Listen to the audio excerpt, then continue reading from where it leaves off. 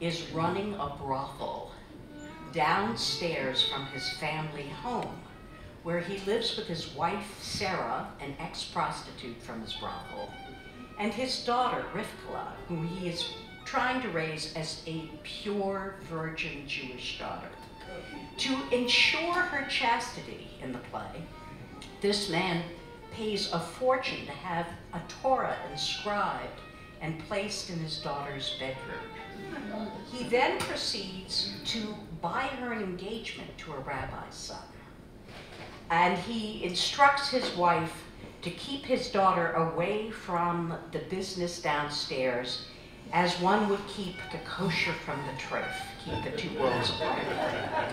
Only hitch is, his daughter falls in love with one of the prostitutes downstairs.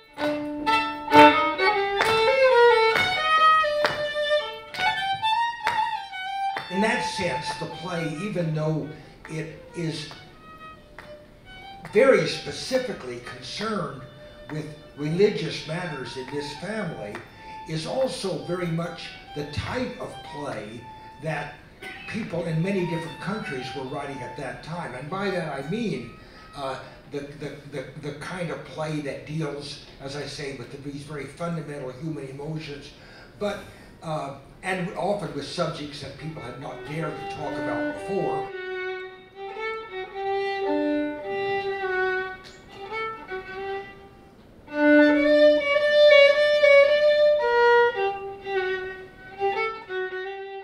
in rehearsal, we spend a lot of time talking about and trying to imagine what it was like not to know what was coming, you know, and, and trying to imagine the hopes and the dreams, and you can just feel them in that space.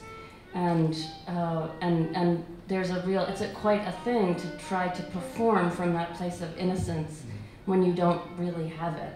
So that's what I think helped like in the, the deepest way that the exhibit was moving to me. It's a deceptively simple play that um, requires, I think, a lot of passion and a lot of dedication to pull it off. And we've actually now had, this is our third production. So that's that's been a remarkable We were in the trenches today making changes. when, when Rebecca takes the script away, that's where we stop the rewrites.